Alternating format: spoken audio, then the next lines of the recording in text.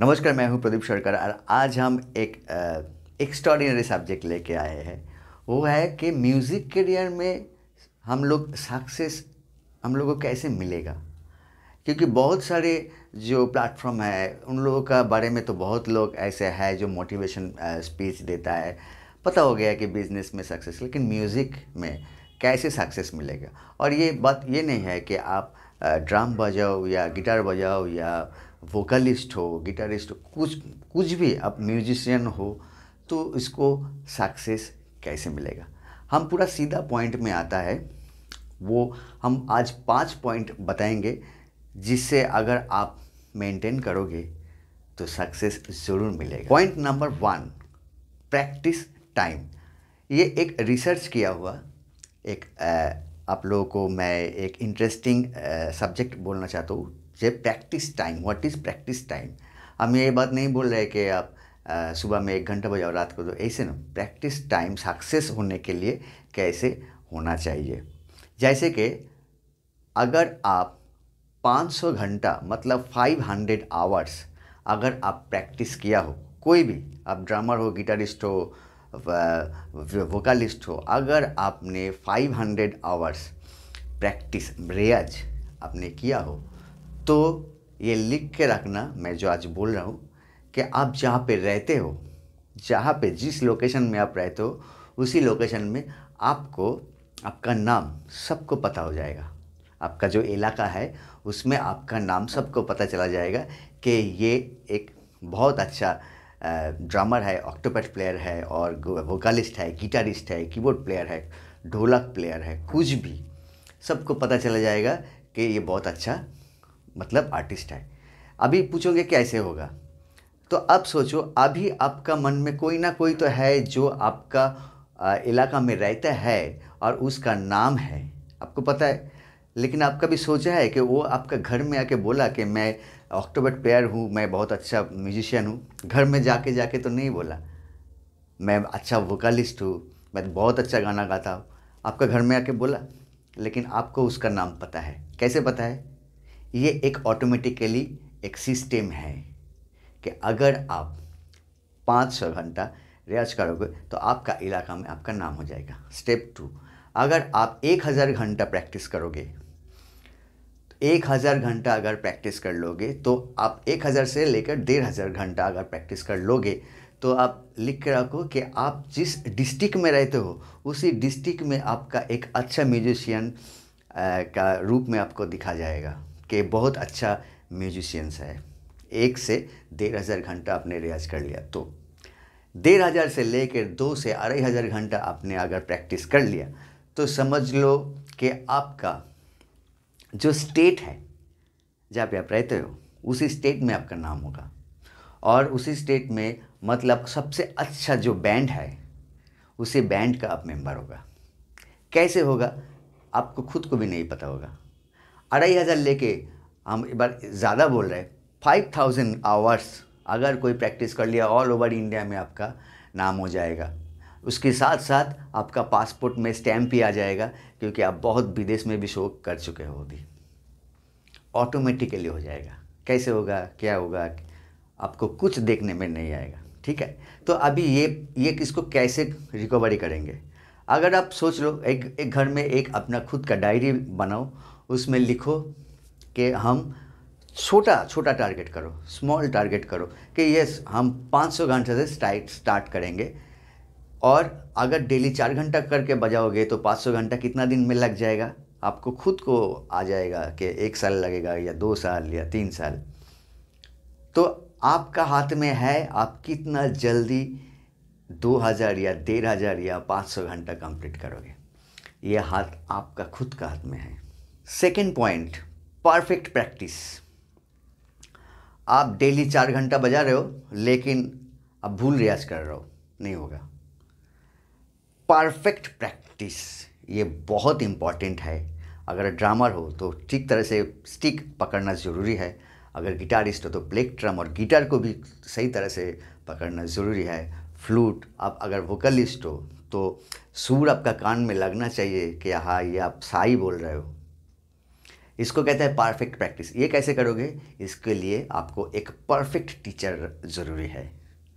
Casually नहीं लेना है। परफेक्ट जिसको, जिस टीचर को आता है परफेक्ट टीचर जो आपका परफेक्ट गाइड करेंगे, ऐसा एक परफेक्ट टीचर आपको ज़रूरी है। परफेक्ट प्रैक्टिस करने के लिए।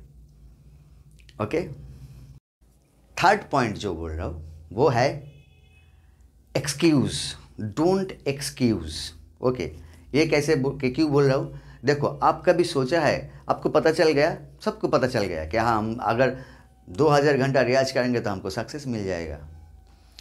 कभी भी कोई ने, किसी भी व्यक्ति आपको बोला है, भाई, प्रैक्टिस मत कर, आपका नाम हो जाएगा।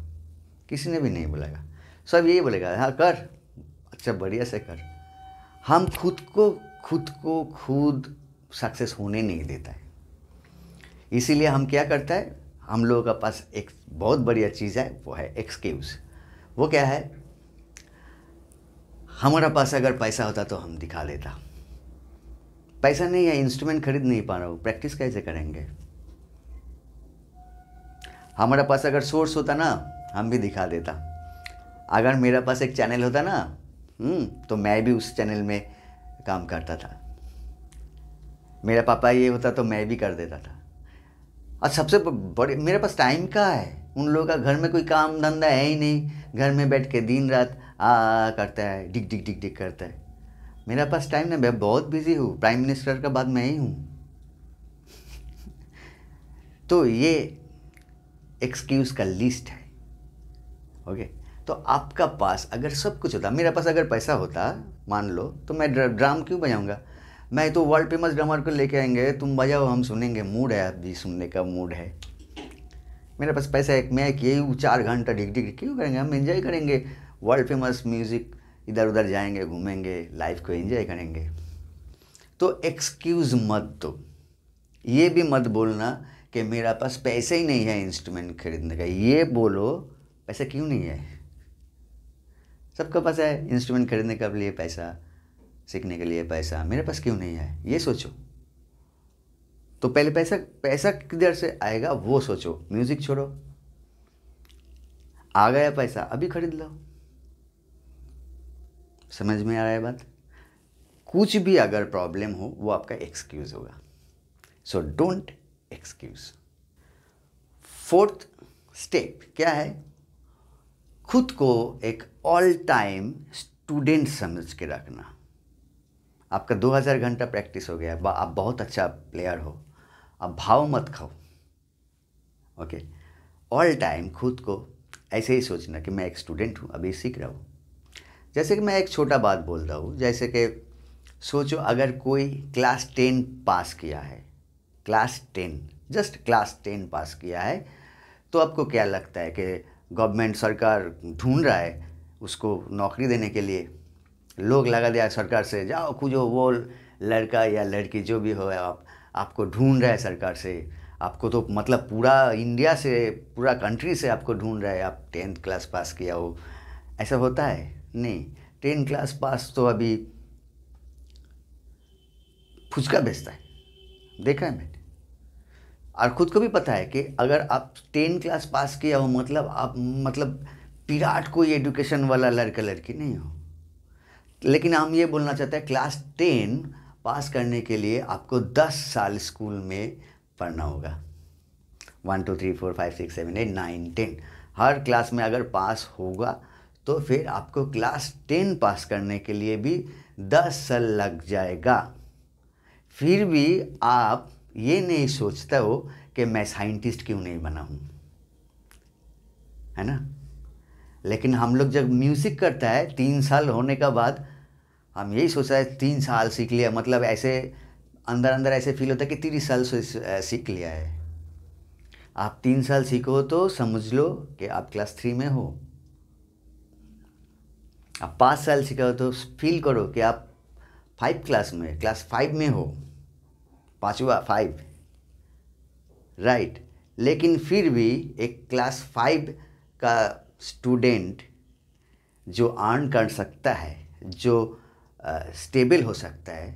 आप पाँच साल अगर सही तरह से प्रैक्टिस करोगे, उससे भी ज़्यादा म्यूज़िक आपको रिटर्न कर देगा।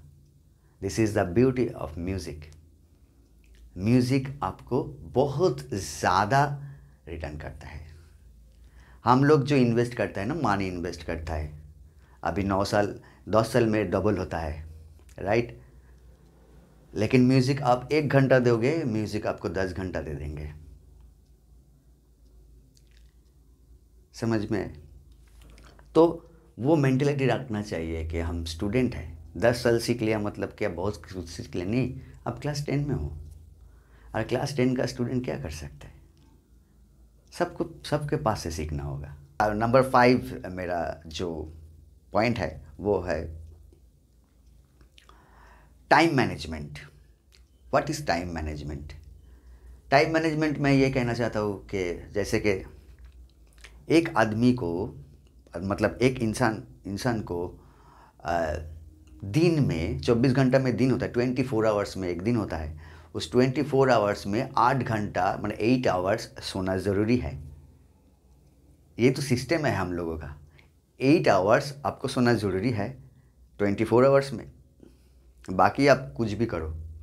तो इसी हिसाब से अगर आपका उम्र साठ साल हुआ तो मतलब आप ट्वेंटी ईयर सिर्फ़ सो रहा था। सोचा कभी, किसी भी, कोई भी साठ साल का आपका जब उम्र हो जाएगा, बा, आप कभी भी साठ साल का उम्र का किसी को भी आप नज़र में सामने आएगा तो देखेगा तो मन में यही सोचेगा कि ये आदमी बीस साल सो गया था। अरे, नॉर्मल है, अगर नहीं सोआ तो आपका तबीयत ठीक नहीं होगा। और तो ज़्यादा से ज़्यादा तो दस बारह घंटा सो लेता है कोई कोई। तो सोचो, हम बीस साल सो गया था। अब अभी हम लोग का पास क्या है? फोर्टी ईयर्स है। फोर्टी ईयर्स से मिल के आप जब क्लास मतलब एक साल से लेकर आप मतलब पंद्रह साल सोलह साल तो तक आपने अपने तो एजुकेशन में या इधर उधर घर में, अब बैरा गुल्लू गुल्लू, ऐसे ऐसे करके पाँच साल चला गया। उसके बाद क्लास वन क्लास टू करके करके फिर भी क्लास टेन पे आ गया। मतलब उधर से भी दस पंद्रह साल चला गया। ठीक है? अभी सोचो, हम सुबह नाश्ता करते हैं। अगर आधा घंटे करके रोज़ नाश्ता करेंगे तो फिर साठ साल में, पता है आपको डेढ़ दो साल आप सिर्फ़ खाया है, नाश्ता किया है। आप डिनर और लंच मिला के आप साठ साल में, आप तीन साल कंटिन्यू खाया है। आप अगर टाइम का बारे में सोचोगे कि हम डेली आधा घंटा टिफ़िन, लंच एक घंटा, डिनर एक घंटा, ढाई घंटा हम खा रहे हैं कॉन्टिन्यू अभी साठ साल में कितना घंटा आप हिसाब कर लो। देखो कितना साल आप सिर्फ़ खाना खाया था। ठीक है? और बस के लिए रुका है, ट्रेन के लिए रुका है, ट्रेन में है, जा रहा है, घूम रहा है। सब मिला के अगर साठ साल में सब आप माइनस कर दोगे तो देखना आपका पास छः से सात साल था। मतलब फुल प्रोडक्टिव टाइम, आवर्स, जहाँ पे आप सोआ नहीं खाया नहीं, किसी के लिए रुका नहीं, सिर्फ़ आपका खुद का टाइम है, पाँच साल ट्वेंटी फोर आवर्स और उसी पाँच साल आपको यूज़ करना होगा। एक ही लाइफ में, हर इंसान का एक लाइफ में छः सात साल होता है, खुद का। ठीक है? और हम तो ये तो नहीं बोला कि वो जो लाभ का जो पार्ट है, इधर डेटिंग वगैरह, ये टाइम हम तो मैंने मतलब दोहरा, उसको मैंने लिया नहीं है, छोड़ दिया, उसको डिस्काउंट में दे दिया। ब्रेकअप का लिए मैं बहुत रोया हूँ। तो ये हम नहीं ये किया डिस्काउंट ये सब, ठीक है? तो आपका पास पाँच साल है प्रोडक्टिव आवर्स पूरा पाँच साल आप घर में बैठ के रियाज करो। डोंट वेस्ट टाइम और देखना, आप सक्सेस तो किसी को तो पता नहीं है what is the meaning of exactly success लेकिन हर एक आदमी, हर एक इंसान आपको देख के बोलेगा, ये ये कुछ किया है लाइफ में. यही सक्सेस है। ठीक है? तो ये पाँच पॉइंट आप मेंटेन करके चलो। डायरी में लिखो। ये बहुत एक बात इंटर और एक पॉइंट हम बोलना चाहते हैं लिखना ज़रूरी क्यों है? जस्ट एक एग्ज़ाम्पल देंगे तो आप समझ में आएगा कि लिखना ज़रूरी क्यों है। मेरा एक दोस्त था को मेरे को बोला उसको नकड़ी मिल गया था। उसके बाद वो मेरे को बोला उसका बुलेट बहुत पसंद था बाइक। तो मेरे को बोला छः महीना बाद वो एक बुलेट लेंगे। तो मैंने बोला वाह वेरी गुड तो उसके सा, उसके साथ फिर मेरे को मुलाकात हुआ दो तीन महीना का बाद मुलाकात हुआ था मेरा मेरे साथ। तब जाके मैं जस्ट ऐसे ही पूछा था तुम बाइक कब ले रहे हो? बोला छः महीने में ले लेंगे। बोला ना, बीस से तीन महीना चला गया। उसका छः महीना ख़त्म नहीं होगा लाइफ में। डेट लिख दो तब जाके ना आपको अंदर, अब जब डायरी में डेट देखेगा, कुछ भी लिख दो कि कैसे शॉर्ट टाइम जैसे कि दिसंबर महीना का ट्वेंटी फाइव दिसंबर के दिसंबर तक हम इसी तीन महीना में हम ये रियाज में ये पाल्टा करेंगे, ये सरगम सीख लेंगे और ड्रामर ये मेरा टेंपो 200 टेंपो में हम कुछ भी लीड बजाएँगे, कुछ भी स्टिकिंग प्रैक्टिस करेंगे। छोटा छोटा करके टारगेट करो। जब तुम्हारा डेट देखोगे ना नवंबर हो गया मतलब इतना दिन बाकी है तो आपका क्लियर हो जाएगा कि आप मतलब कर रहे हो या नहीं कर रहे हो। अगर डेट नहीं लगेगा, तीन मास, वो तीन मास लाइफ ख़त्म हो जाएगा, लेकिन तीन मास नहीं ख़त्म होगा। तो ये मेरा एक छोटा सा टिप्स था। शायद आप लोगों को बहुत काम पे आएगा। ठीक है? ऐसे ऐसे छोटा छोटा टिप्स हम दे, देंगे म्यूज़िक के साथ साथ। और एक बात ज़रूर आपको कैसे लगा और आपका सोच क्या है इसके साथ साथ आप भी कमेंट्स करके बता सकते हो। ओके नमस्कार।